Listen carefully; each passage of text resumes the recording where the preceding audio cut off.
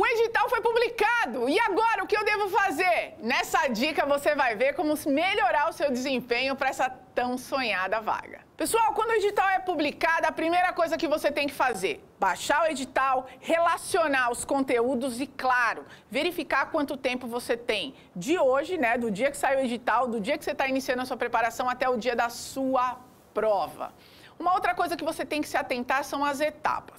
Há concursos que têm só a etapa de prova objetiva, né? aquela de questões ABCDE ou de certo e errado em alguns casos de algumas bancas. E também tem redação, tem provas que têm prova prática. Então, o que você precisa saber é, no primeiro momento, quais são as etapas que você tem que se preparar para essa prova. Segunda coisa, você deve verificar quais são os critérios de avaliação e quais são as características da banca organizadora do concurso. Você deve também organizar sua rotina.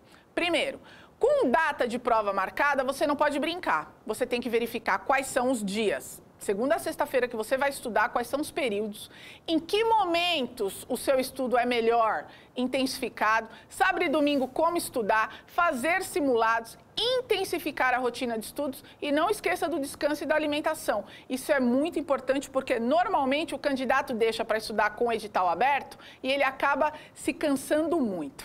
Eu vejo muitos candidatos esquecendo de pagar a taxa de inscrição. Lá no seu cronograma de estudo, coloque tudo data de inscrição, data de pagamento do boleto e, claro, a data da prova.